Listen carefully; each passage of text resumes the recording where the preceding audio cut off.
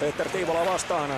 Kiekko tulee, se tulee lopulta keskellä puolelle sitten ja Viljami Myllylä painaa kiekon perään. Ja Myllylä pääsee siinä vielä väliin tuohon Aittokallion purkukiekkoon ja sinne pomppii muuten aikamoisella voimalla nyt katsomon puolelle. Yksi nolla, seitsemän ja puoli minuuttia vielä on tätä toista erää jäljellä, mutta kuin vahvaa taistolla. Me ollaan katsomossa numerolla C4 ja arvoisa yleisö, meillä on täällä, meillä on täällä Mika Leino ja Mika Leino juhlistaa ensinnäkin 50-vuotis syntymäpäiväänsä kaveriporukalla täällä. Tänään Mikalle onnittelut.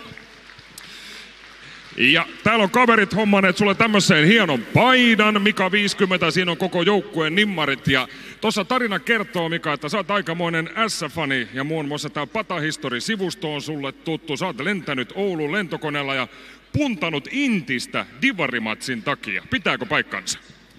Joo, pitää paikkansa. Miksi näin? Mitä S merkitsee? No se on elämäni rakkaus. Ensimmäinen ja varmasti myös sit niinku eh, loppuun asti. Ja loppuun astihan me taistellaan tänäänkin. Onneksi olkoon Mika, kiitoksia. Kiitos. Onnea Mika!